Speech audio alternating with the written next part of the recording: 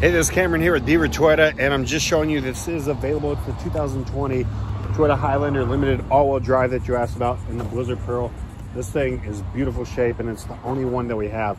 So being that it is all-wheel drive, it does make a huge difference, and it's going to go pretty quick. So I know you said that your wife had a 2015. Well, here is the 2020, and this thing is immaculate.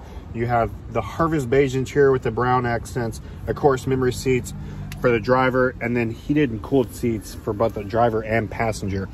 Your all-wheel drive availability is right here. You can go from a terrain select now, which is a new feature for this year.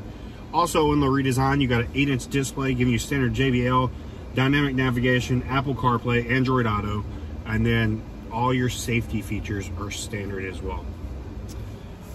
It's got 13.8 miles to be exact, and then of course everything at your fingertips, just like you're used to heated steering wheel is on this model, and then of course a power lift gate to be expected.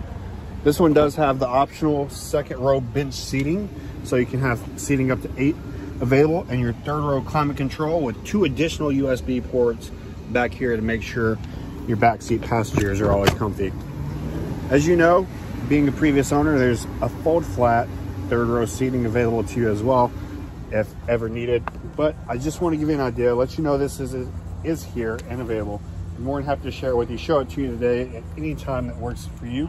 Reach me on cell, it's 901-268-6102.